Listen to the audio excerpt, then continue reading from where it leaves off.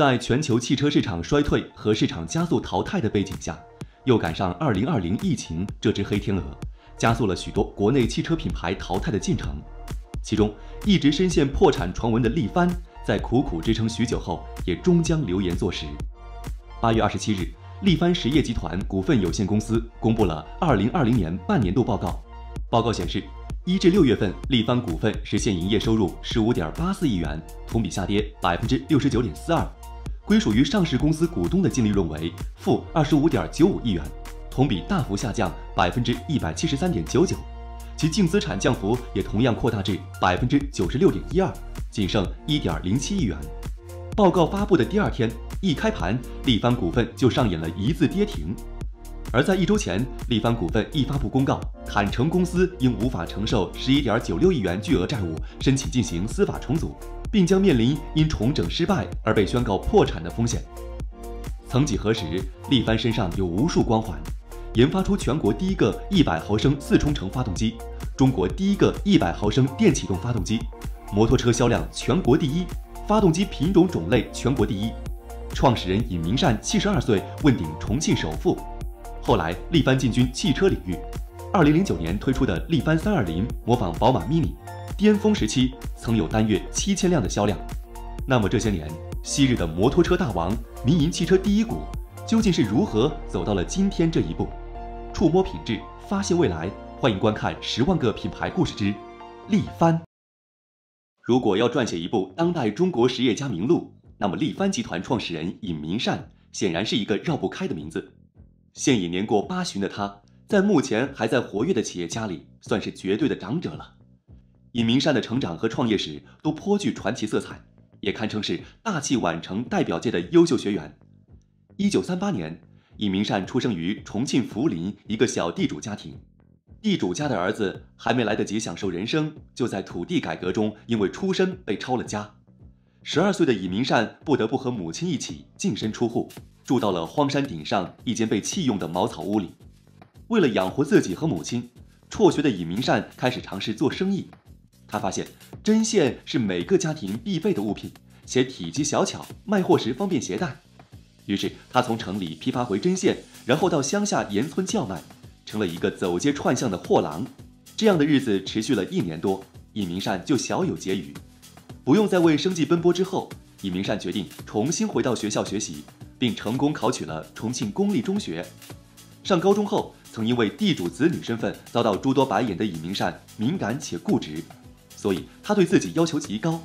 他自称高一第一学期就解完了整个高中阶段的数学题，不仅能在报上发表文章，还自学音乐作曲，写出了很多为同学称道的曲子。就在尹明善想通过高考换取自己人生的光明时，一九五八年，在读高三的他因被揭发有右派言论而被踢出学校，三年后被定性为反革命，打成右派，开始了长达二十年的农村改造。一九七九年。已经四十一岁的尹明善终于等到了一句：“尹明善，你还年轻，你可以堂堂正正的做人了。”出狱后，因为在狱中一直坚持学习，尹明善以优异的成绩考到了重庆电视大学，成为一名英语教师。当了三年教师后，尹明善又跳槽到重庆出版社做了一名编辑。借着这一机会，他进入出版行业，创办了重庆长江书刊公司。这期间，他编辑发行了《中学生一角钱》丛书。发行量突破千万册，后来这本书又被上海出版社改编成了风靡中国的五角丛书。到一九八九年时，尹明善已经是全重庆最大的民营书商。但尹明善没有满足于此，反而认为出版行业太小，注定是一个做不大的行业，于是决定关闭出版社，另谋出路。而再看现在的出版行业，能诞生出来的富豪确实是凤毛麟角，这不得不佩服尹明善，确实有非凡的商业眼光。退出出版行业后，尹明善四处寻找商机，在解放碑卖过百货，做过黑香烟生意，甚至还跑到当时的四川外语学院学了半年英语。九十年代的重庆是全国摩托车生产基地，不仅有嘉陵、建设这样声名显赫的摩托车企，其他的小摩托车企也如雨后春笋般涌出，重庆摩托帮的名号更是在全国都叫得响。在一次与一家校办摩托车厂负责人聊天的过程中，尹明善发现。重庆虽然有很多摩托车厂，但核心部件发动机供不应求。行业老大嘉陵和老二建设都不愿意把发动机卖给这些小厂，很多厂商要跑到上千公里外的河南采购摩托车发动机，运输成本高，质量还差。于是，一九九二年，已经五十四岁的尹明善不顾家人反对，怀揣着二十万元资本和招募来的九名员工，在重庆郊区一个四十平米的房子里，成立了重庆轰达车辆配件研究所。同样是这一年，距离重庆一千多公里外的浙江台州。一个二十多岁的小伙子收购了一家濒临倒闭的国有摩托车厂，也准备开始造摩托车。这个小伙子名叫李书福。冥冥中，他和五十多岁的尹明善站在了同一个起点，而两人后来的成长路径也颇为相似，都是从摩托车到汽车。只是谁也想不到，兴衰浮沉之后，对尹明善来说最好的结局，竟然是被李书福收购。研究所成立没多久，尹明善就发现了一个商机，就是。如果从建设集团维修部买来发动机配件，自己装配成发动机再卖出去，成本只要一千四百元，但转手就能卖一千九百九十八元。要知道，当年本田的发动机要卖两万多元，嘉陵和建设的发动机也要卖六千多元。相比之下，尹明善这个价格就像不要钱。为了避免建设集团发现端倪，尹明善每次都找不同的人分批去采购零件。同时，对于关键零部件，他又马不停蹄地找工厂开发。等四个月后，建设集团发现了问题，下令一个零件也不准卖给尹明善时，尹明善的研究所已经可以自己生产关键零部件了。在当时，国内的摩托车发动机普遍只有五十毫升和七十毫升两种型号，其余全靠进口。尹明善知道，如果想要做大做强，就必须有核心产品。于是，他咬牙拿出一百五十万。先后研究出了全国第一个一百毫升四冲程发动机，以及中国第一个一百毫升电启动发动机。而正如尹明善所预料的那样，自主发动机的研制成功，让这个籍籍无名的小厂瞬间走红，全国各地的订单如雪花般纷至沓来。当时，国内生产摩托车的大企业如新大洲、钱江、轻骑、港田等，采用的都是轰达发动机。一九九七年。轰达车辆配件研究所更名为重庆力帆实业有限公司，并正式涉足摩托车整车制造。转眼进入新世纪，尹明善和他的力帆也迎来了新的辉煌，不仅产品商标完成了向力帆的过渡，六十二岁的尹明善也在二零零零年以五点五亿元净资产跻身福布斯五十位中国富豪排行榜。事业风生水起之余，他还接手甲 A 球队玩起足球，并在数万名球迷的雄起声中夺得西部球队有史以来第一个冠军，大幅提升了力帆在全国的品牌影响力。到二零零一年时，力帆已经总计售出一百八十四万台摩托车发动机，销售收入超过三十八亿元。仅二零零一年当年的收入就有十八亿元，超过嘉陵和建设两大摩托车巨头，成为重庆摩托车行业的龙头老大。与此同时，力帆还不断发力海外市场，成为国内摩托车企业首个出口创汇破一亿美元的企业。而做到这一切，尹明善只用了九年时间。这无疑是尹明善和力帆最风光的时候。然而，就像重庆江面的大雾，总是散了又聚，命运的轮盘也又一次卡在了尹明善的面前。二零零一年前后，随着全国各地禁摩政策的出台，摩托车行业迎来发展拐点。力帆摩托的业绩出现疲态，经营净现金流急剧下降，甚至出现了负数。同时，伴随着中国加入世贸组织，汽车市场开始显现巨大的消费潜力，吉利、比亚迪等民营企业纷纷入行，这让尹明善大为触动，决定从摩托车跨步到轿车产业。二零零三年，力帆收购了重庆专用汽车制造厂百分之八十的股份，后增持到百分之九十五，并将企业名称改为重庆力帆汽车有限公司。三年后，力帆第一款自主设计的力帆五二零正式上市，但一年只卖了一万多台。而差不多同时上市的比亚迪 F 三，一个月的销量就突破一万辆。首款车碰壁后，力帆选择了见效快、成本低的方式模仿。二零零九年，一款外形酷似 Mini Cooper 的力帆三二零上市，巅峰时期一个月卖出了七千辆。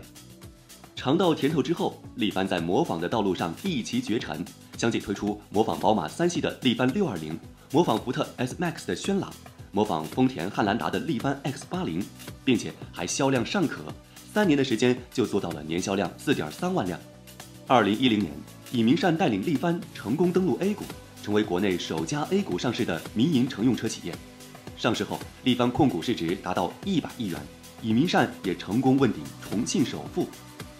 不过，就像烟花爆炸后的绚烂，下一秒即是消逝。力帆尽管有着看似漂亮的数据，背后却是掩不住的尴尬，即产品缺乏创新，无法彻底打开局面，甚至一度因为模仿而被外界诟病。而造车又是一个极其烧钱的行业，持续不断的造车投入与销量不成正比，并没有给公司带来实惠的利润，甚至在后期拖垮了力帆的财务。而此时，当年同一起点起跑的李书福已经带领吉利不断跑马圈地，收购沃尔沃，抢占细分市场，成为了国产品牌的一匹黑马。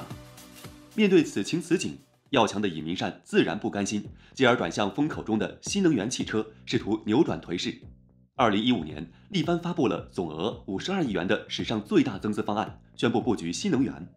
但步子还没迈开，隔年就被爆出力帆新能源汽车骗补。其生产的两千三百九十五辆新能源车不符合补贴条件，涉及骗取中央财政补贴资金一点一四亿元，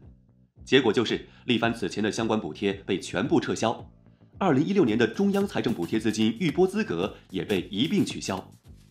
风波使得力帆信誉受损，股价连续下跌，新能源车的业绩也开始一蹶不振。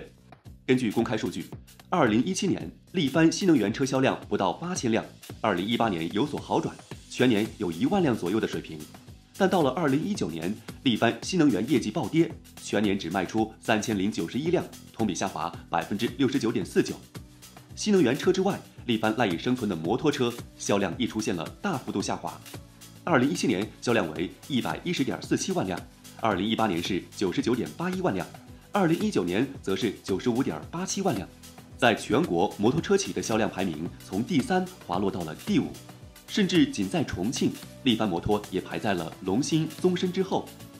销量不断下滑，带来的自然是财务的捉襟见肘。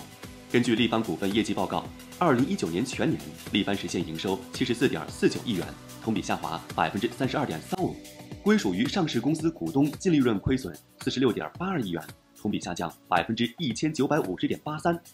二零二零年一季度，力帆实现营收五点六亿元。同比下降百分之七十四点八八，归属于上市公司股东净利润为亏损一点九七亿元，同比下降百分之一百零三点零六。同时期内，力帆资产负债率持续上升，高达约百分之八十六。此外，力帆还面临着与供应商的诸多贷款矛盾和债务诉讼，这将力帆推入更深的负债深渊。根据力帆股份六月发布的公司累计涉及诉讼仲裁事项的补充公告，力帆涉及诉讼仲裁已达三百九十二件。涉及金额二十九点零六亿元，三百九十二起案件中，已判决仲裁案件二百二十一起，力帆全部为被告，共需赔偿对方十八点三六亿元。未开庭案件八十二起，涉及总金额五点八亿元。面对巨额负债，力帆也曾试图变卖资产求生。二零一八年，力帆股份将旗下重庆力帆汽车以六点五亿元出售给理想汽车的制造公司车和家。二零一九年，搬迁乘用车生产基地。获得三十三亿元补偿款，但这只是杯水车薪，根本无法把力帆拉出泥潭。今年四月，尹明善宣布将公司大权交给二十五岁的孙女尹安妮。尹三代出任公司管理层，能否顺利实现力帆自救、扭转局面，还有待时间考验。而早在二零一七年就宣布退休，希望过上逍遥生活的尹明善，如今看来似乎也是不能如愿。根据最新消息。力帆拟向外界招募重整投资人，协调推进公司的重整工作。也有传言称，吉利正计划向力帆注资，收购力帆，成为其最大股东。虽然随后吉利方面否认了这个消息，但根据如今的情况来看，被吉利收购或许会是力帆最好的结局。截止今日，十万个品牌故事已经介绍了非常多的大牌，以后我们也会介绍一些新锐品牌，欢迎联系并告诉我们。你们品牌做了什么样的创新，解决了什么样的问题，为这个世界做出了什么样的贡献？我们免费帮您制作节目，全网发布，让更多人知道你们，了解你们。